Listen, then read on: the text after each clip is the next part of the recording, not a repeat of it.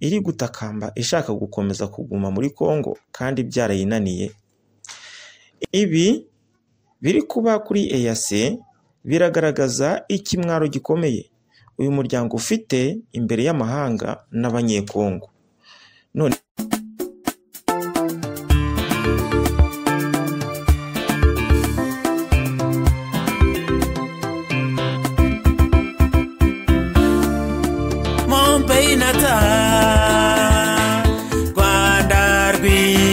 rw'imisozi igihumbi. Rwanda rw'ibibazo igihumbi. Nshuti bakunzi muteze amatwi radiyo na televiziyo ubwiyunge mwiriwe. Ngende mugwaneza rafiki mu kiganiro aho bigana.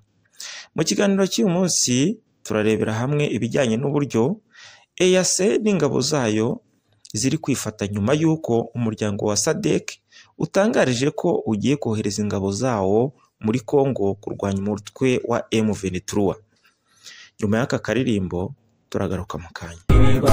Efere nikomera abaruvuka tukuri inyuma efere niramba wowe uje guhuza abanyarwanda.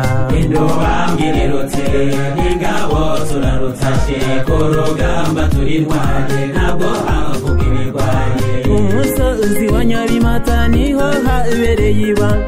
Bakomando badatinya batibaho ngo turatashe bari waciye umurongo hamare imbaruguruzwa. Indobangirerutse ingabo turarutashe. Ku rugamba turi ntware ntabwo havuga ibirwaye mu nkuru ya BBC yanditswe ku wa cumi na kabiri z'uku kwezi kwa Gicurasi umwaka wa bibiri na makumyabiri na gatatu irerekana uburyo EAC iri gutakambira Perezida Felix Tshisekedi ngo abe yakongerera manda ingabo zayo. Aho iyi nkuru ivuga ko umuryango wa EAC uri gushishikariza Perezida wa Repubulika Iharanira Demokarasi ya Kongo kubaha icyemezo cyawo cyo kohereza ingabo kugerageza kugarurayo umutekano. Ibi EAC yabitangaje nyuma y'inama yabereye i maze, SADC ikemeza ko igiye kohereza ingabo zayo muri iki gihugu cya Repubulika Iharanira Demokarasi ya Kongo kugarura umutekano. Muri iyi nama Perezida Felix Tshisekedi yashinje umutwe w'ingabo za EAC kugirana umubano wihariye n'inyeshyamba za M23 anashimangira ko izo ngabo niziba. Zitageze ku nshingano zazo bitarenze ukwezi kwa gatandatu ubwo manda yazo izaba irangiye hagafatwa icyemezo cyo guherekeza uyu mutwe wa EAC ibi birego bya perezida wa repubulika iharanira demokarasi ya kongo EAC yo ibivugaho iki? Umunyamabanga mukuru wa EAC bwana Peter Matuki yavuze ko ibi bizaganirwaho n'abakuru b'ibihugu ariko anavuga ko uku kunengwa kudakwiye. Ati kuvuga ko ingabo za EAC nta kintu zikora muri iki gihe gito zimaze ntabwo ari byo. Uyu muyobozi yemeye ko umuvuduko wo kugarura umutekano muri repubulika iharanira demokarasi ya kongo atari kuriya wari witezwe. Aha wakwibaza uti kuki EAC iri gutakamba ishaka gukomeza kuguma muri kongo kandi byarayinaniye? Ingabo za EAC zijya muri kongo abantu batari bake bibwiraga ko EAC igiye kurangiza intambara muri kino gihugu. Ariko isi yose yatangajwe n'uko aho kugira ngo izi ngabo zikore ibyari bizijyanye ahubwo zacuditse n'umwanzi wa Kongo ari we M23 nk'uko abaturage baho bagiye babishimangira.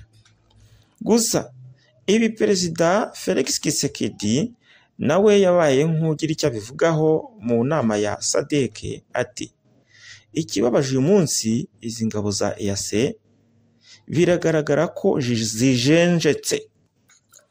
Ibi biri kuba kuri EAC biragaragaza ikimwaro gikomeye. Uyu muryango ufite imbere y'amahanga n'abanyekongo.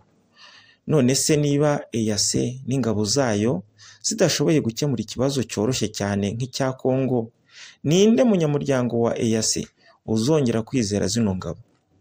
None se umusaruro baterekanye mu gihe bamaze bazawerekana nibongera nibabongera indi manda?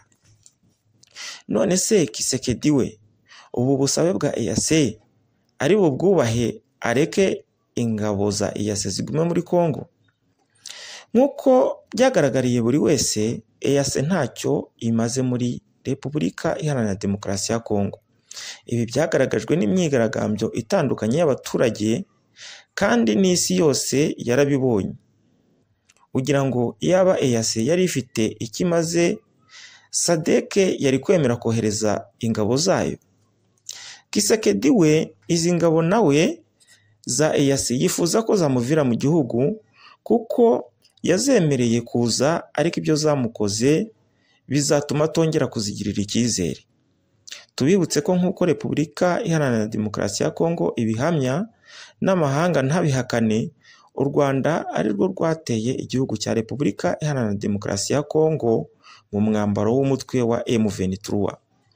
Uyu mutekano muke uri muri kongo nyirabayazana akaba ari u rwanda ruyobowe n'agatsiko ka fpr kagame. Ubuyobozi bushinzwe itangazamakuru muri cnrd ubwiyunge frn bwo buherutse gutangaza ko aka gatsiko gakwiye kwegura kuko aho kerekeza abanyarwanda ari habi. Ariko kandi nikategura. Cnrd ubwiyunge frn urugamba yatangije rwo guharanira ukishyura ukizana kwa buri wese izarukomeza. Mpaka kavuye ku butegetsi amahoro akaboneka. Mwese mwese abari bakurikiye radiyo na televiziyo ubwiyunge turabashimiye. Mwari kumwe na mugwaneza rafiki naho ubutaha.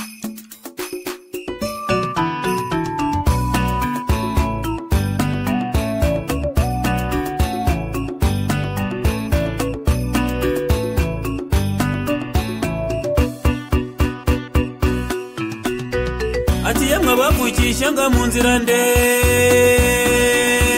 wehe wehe murakinywa n'ingufiya mwumva impanuro utimpamagarira bene kanyarwanda banyazwe mu gakondo mamara ubwoba hangiye imbere ati nsinzi n'ubumwe bwanyu mukisubiza gakondo harageze. Ati ubutwari burarutana rugamba sinzaba ikigwari ati kandi no munyabutatu nyarwanda sinzahemukira n'umwe nk'izangaje rubanda. Ati nambitse intarumikwa turamanuka twikoza mu gicu we dukora hasi dutangiza urugamba rwo kubohoza uru rwanda.